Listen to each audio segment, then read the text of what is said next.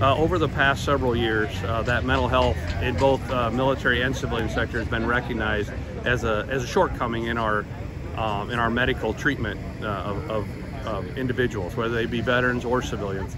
And so how the VA has handled that with uh, several mental health initiatives, along with additional funding from Congress to help facilitate both infrastructure improvements and personnel, whether they be psychiatrists, psychologists, or or social work, those type of uh, specialties to help with that workload of the increased need. Okay, um, and uh, in June um, we did see legislation signed by uh, President Biden, the, the Sergeant Ketchum uh, Mental Health Act. Um, I, I, know that there's still guidance to come from, from the VA, but can you talk at all about um, the, the significance or the importance of that legislation? Uh, basically, that placed the importance on mental health. I mean, that gave it an additional uh, emphasis in both Congress and I think throughout the United States. It came with some funding and some directives that uh, speed up the the time with which a veteran is seen, whether they be new or res or residual or uh, reoccurring visits.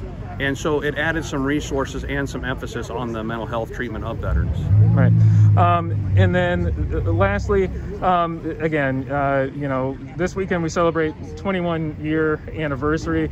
Um, I guess what message do you have um, to, to, Iowans, to Americans about um, this day? And, and, do you worry that, um, you know, uh, with it, with, with being kind of removed from, from September 11th, that um, you know, it might get lost in the national conscience?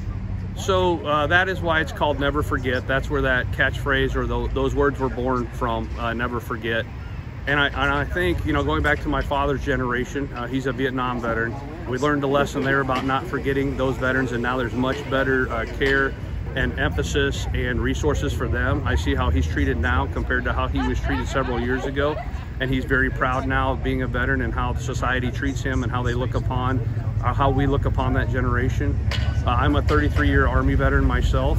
Uh, the things we've done for both our generation and the generation behind us to improve uh, the way society views our military, what they do for us, the security, uh, and, and allowing folks to be able to sleep well at night. Those things have all improved greatly over the years.